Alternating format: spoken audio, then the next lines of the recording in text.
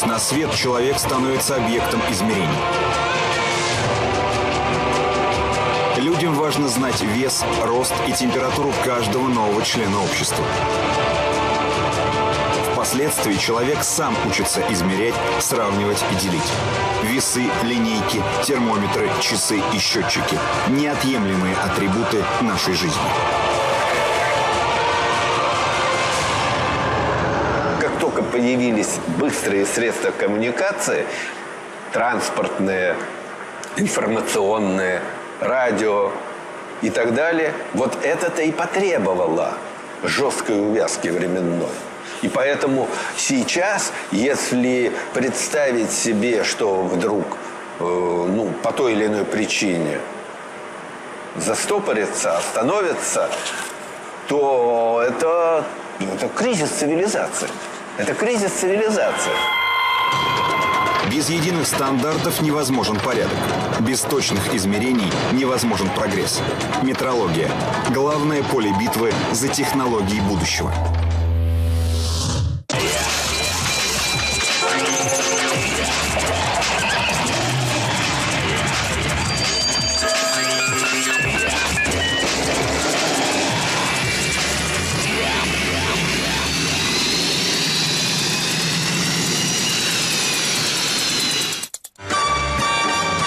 Начале 20 века инженеру Генри Лиланду, создателю Кадиллака, пришла в голову невероятная идея. Изобретатель тут же решил подтвердить свое открытие экспериментом.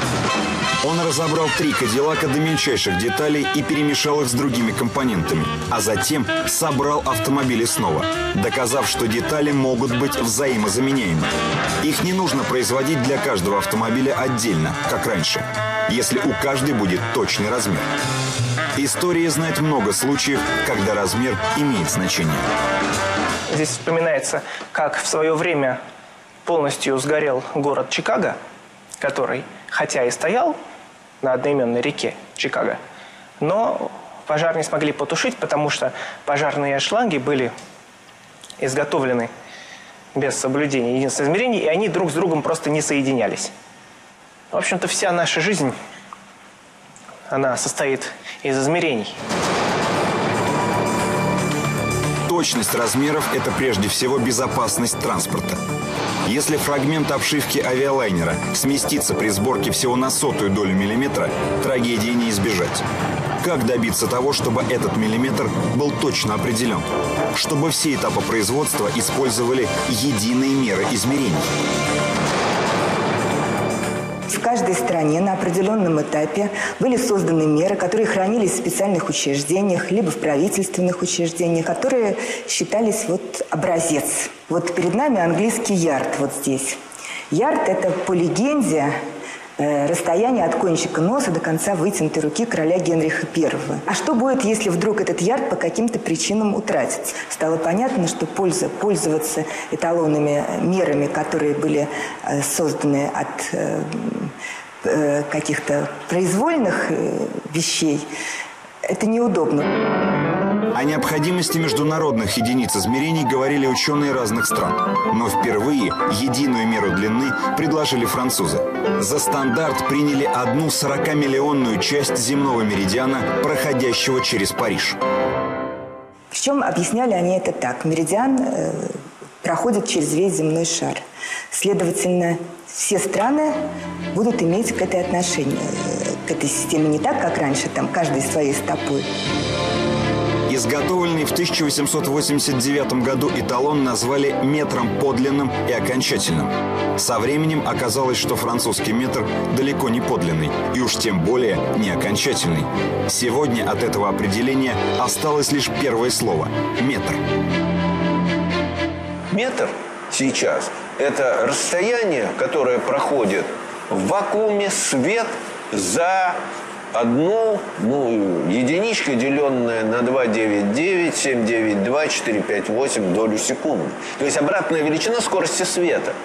Метр стал связан однозначно с интервалом времени. Фактически это означает, что метр стал, перестал быть независимой величиной. Так все основные средства измерений оказались взаимосвязаны. Прежде чем определить метр, нужно договориться, что такое секунда. Прежде чем высчитать секунду, нужно точно знать скорость вращения Земли. Прежде чем сделать эталон килограмма, нужно понять, что такое кубический дециметр воды. Вообще в мире вся система мер – это вещь э, договорная. Человечество собралось и договорилось.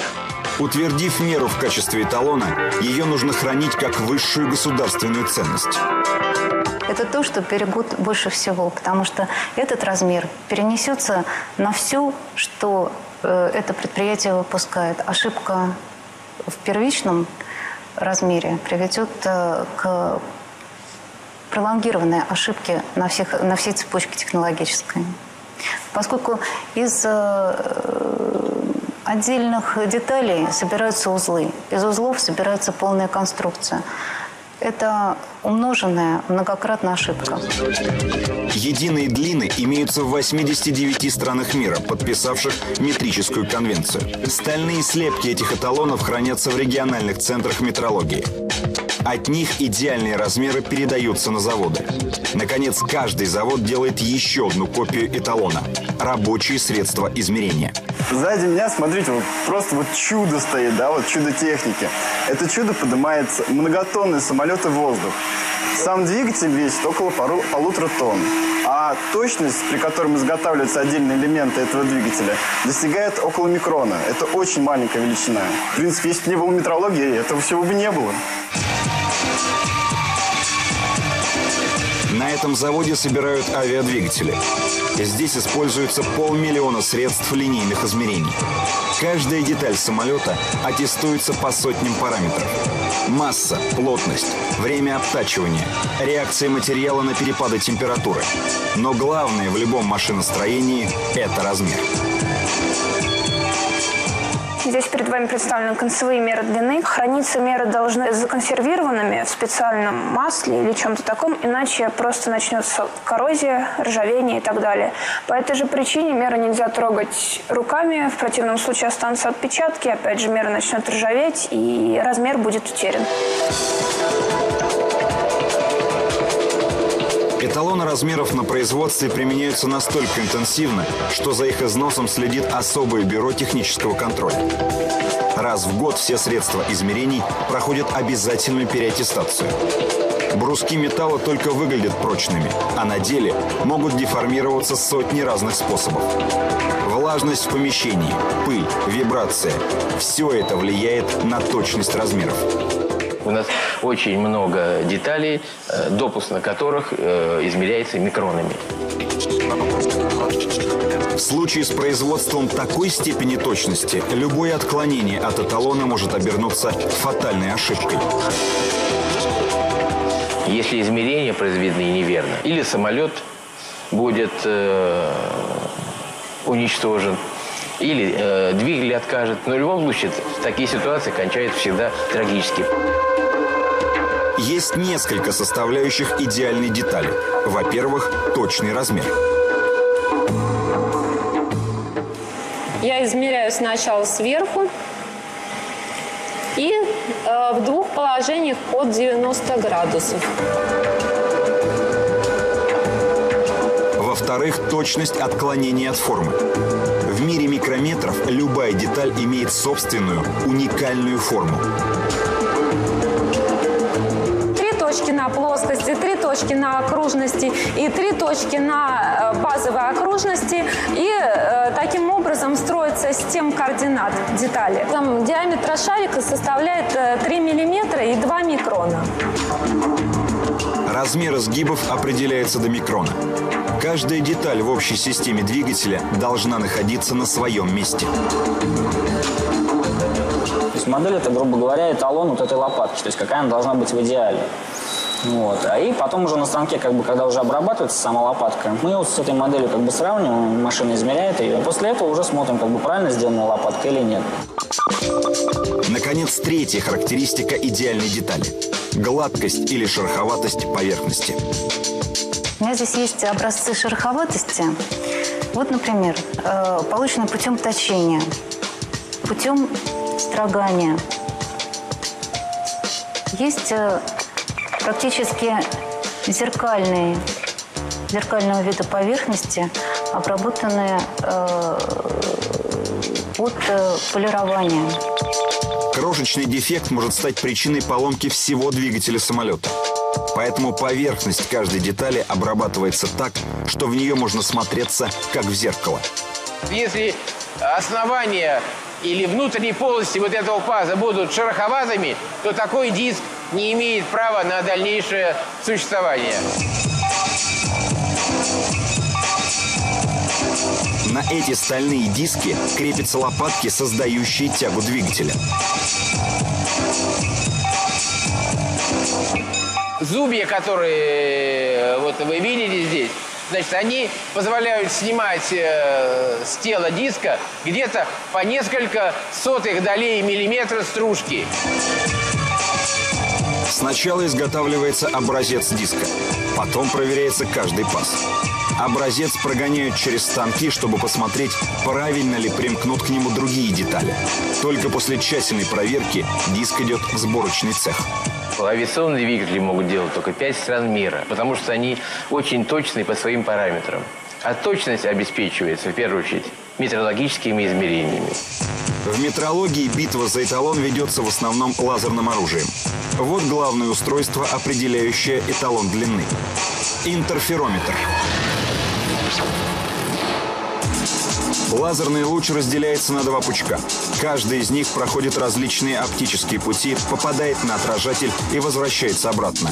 Так создается картина интерференции, то есть наложение лазерных волн друг на друга.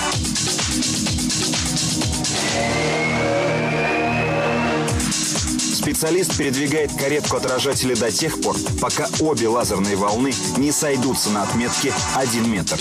Так определяется идеальная мера длины. Сам эталон – это комплекс установок. Это не что-то конкретное, вещественное, вот как раньше было действительно. Это теперь комплекс. Сначала воспроизводится длина, а потом она передается вот данным установкам. И эти установки уже в свое время, в свою очередь, передают размер дальше.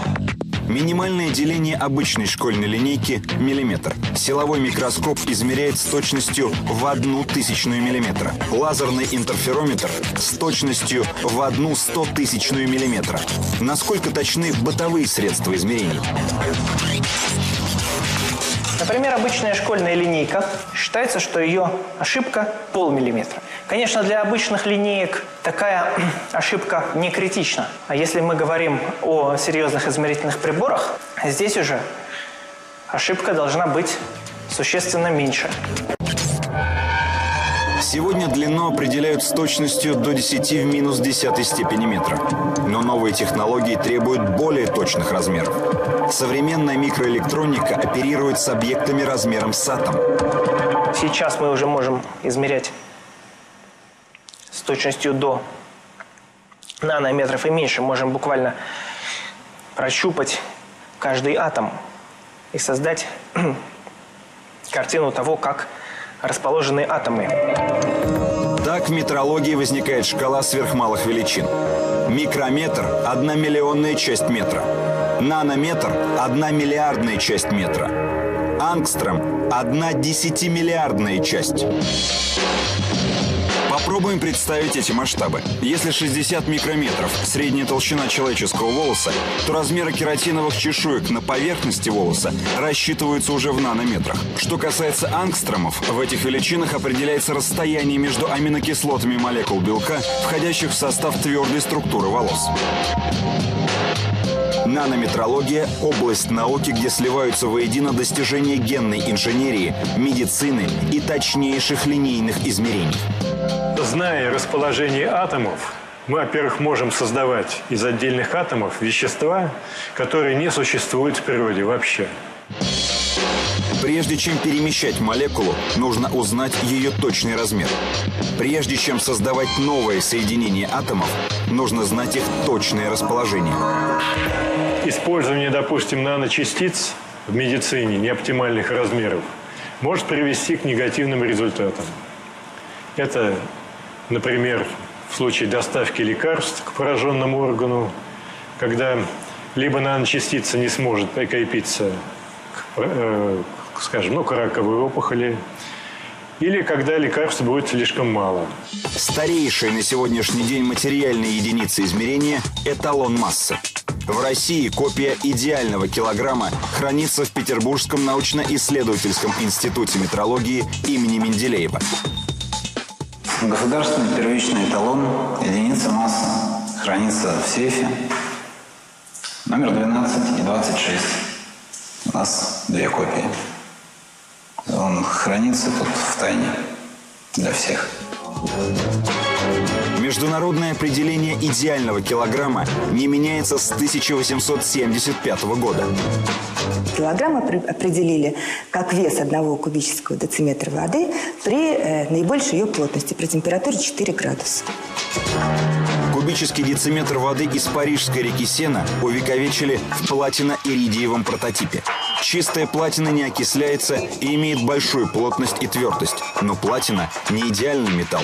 Слишком чувствительно реагирует на изменение температуры. Проблему решило добавление иридия.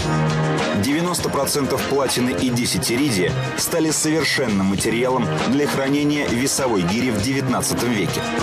Как ни странно, этот прототип до сих пор служит всеобщим эталоном веса.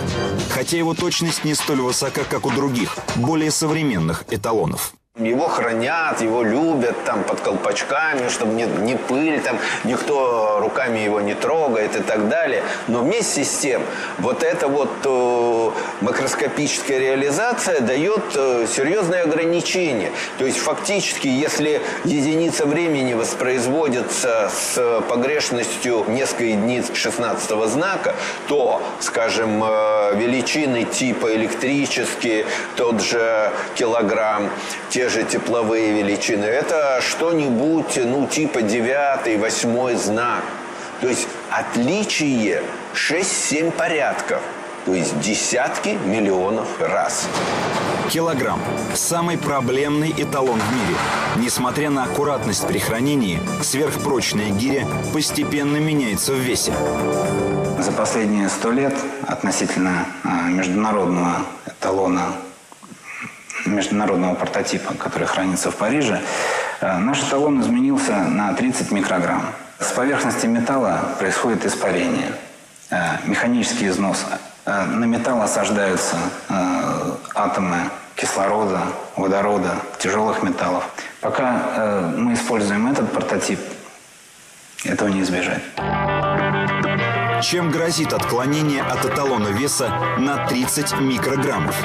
Что такое 1 микрограмм? Тысячная доля миллиграмма или миллионная доля грамма? 500 микрограммов яблок – это 1 кубический миллиметр, то есть примерно вдвое меньше булавочной головки. В сфере бытовой торговли таких изменений никто не заметит. Другое дело – фармацевтика. Представляете, если ошибка а, при изготовлении лекарства будет на 1 миллиграмм, какие могут быть последствия? Как же ученые будут определять малейшие дозы вещества, если эталон уже не может служить основанием для современных расчетов? Ученые всего мира работают над созданием обновленного эталона массы – шара из сверхчистого кремния. Кремний имеет идеальную кристаллическую решетку. С помощью силовых микроскопов метрологи определят точное количество атомов в одном килограмме кремния. Зная количество атомов и массу одного атома, можно будет э, в любое время создать эталон в любом месте, что основное для метрологии. Современный человек ежеминутно сталкивается с работой сложнейших метрологических устройств, даже не подозревая об этом. Мобильная связь. Вот мобильный телефон – кто задумывался, почему оно работает. Кнопочку нажал, работает. Для того, чтобы мобильная связь работала, вот эти станции сотовые, вот эти вышки, которые люди все видят, должны быть жестко синхронизованы между собой, то есть увязаны по времени. И эта увязка по времени для обеспечения работоспособности мобильной связи – это миллионные доли секунды. Люди измеряли время по обращению небесных светил до середины 20 века. Но такой способ оказался далеко не идеальным. Земля потихоньку замедляется в своем вращении. Это нормальный процесс. Ну, вы все видели, скажем, детскую юлу. Вот вы ее завели, и вот она ж ж ж ж ж ж ж ну и так потихоньку, потихоньку, медленнее, медленнее, и потом болтых и упала. Вот. С Землей происходит э, точно то же самое. Более того, она э, вращается не совсем равномерно. То есть, грубо говоря, то побыстрее, то помедленнее. Перед метрологией встал вопрос, как вычислить и сохранить точный интервал времени. В 1967 году был создан новый эталон – это 9 миллиардов 192 миллиона 631 тысяча 770 периодов излучения атома цезия-133 в основном состоянии. Когда столько периодов излучения отсчитают, это и есть одна секунда. И есть устройство, конкретные приборы, физические установки, которые это реализуют. Не каждый атом подходит в качестве основы для атомных часов. Отбираются только вещества, нечувствительные к внешним воздействиям. Лучше всего с этой задачей справляется цезий. И сегодня характеристики всех стандартов времени сравнивают с колебаниями атома этого вещества. В России главный эталон времени хранится в Подмосковном научно-исследовательском институте физико-технических и радиотехнических измерений. За определение точного времени отвечает сложнейший комплекс приборов, хранителей частоты и шкал времени. То есть с метеорологической точки зрения это идеальная система, с помощью которой можно построить идеальнейшие оптические часы. Российский эталон времени входит в группу лучших мировых эталонов. Его относительная погрешность не более одной секунды за полмиллиона лет. Знаки, которые э, сейчас уже получают на таких оптических стандартах, они уже невероятны даже для слуха метеорологического человека. То есть это уже сопоставимо с временем жизни нашей Вселенной. То есть, ну, это уже что-то невероятное. Только изобретение атомных часов позволило создать сложнейшие системы навигации – GPS и GLONASS. Для того, чтобы передвижение на дороге было удобным, система должна определить положение машины в пределах одного метра. Метр для спутника – это 3 миллиардные доли секунды. С такой невероятной скоростью идет обновление информации о передвижении автомобиля. Вот нарисовано. Это вот сигналы системы GPS. И вот спутник 11, 24, 8, 18, 9, 26, 27, 15, 28. Вот это одновременно он принимает сигналы этих, ну сколько тут, 8 или 9 спутников, 8 спутников. Все это посекундно регистрируется. Это приемы нашей стороны. Аналогичные приемы есть у, в других лабораториях. При помощи сигналов спутников метрологи всего мира обмениваются данными о точном времени. Установки фиксируют разность показаний часов лаборатории и спутника. Затем данные всех лабораторий сличаются специальной программой. В результате получается синхронизированное международное атомное время. Подмосковный спутниковый комплекс осуществляет передачу данных в космос с погрешностью всего в одну наносекунду, то есть в одну миллиардную часть секунды обычной этот комплекс, он э, даже для Европы уникальный. И когда мы сообщили на конференции о том, что вот мы являемся обладателями этого, э, грубо говоря, европейские лаборатории записывались в очередь. Ребята, приезжайте, ворота откроем, мы очень заинтересованы, чтобы к нам приехали, откалибровали это. Возможно, новый эталон времени будет основан на частоте атомов стронция. В погоне за точностью выяснилось, что атомы этого вещества охлаждаются лучше, чем атомы цезия. Подсчитанные колебания атома не только определят новую сверхточную секунду, но и помогут решить множество проблем квантовой физики. То есть это система, которая в будущем может исследовать э, свойства нашей Вселенной, вплоть до гравитационных волн. Если вот этот, это облако атомов, которое здесь находится, поднять одно над другим, то есть два облака получить, то есть вот одно облако будет иметь э, частоту немножко другую, которая будет зависеть от гравитационного поля. То есть начинается исследовать, начинают исследовать уже физические свойства нашего, нашего мира. Так измерение элементов материи открывает тайны огромной Вселенной. С помощью приборов, лазеров и микроскопов открываются возможности, казавшиеся невероятными еще полвека назад.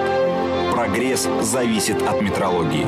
Ведь движение вперед – это точность эталонов.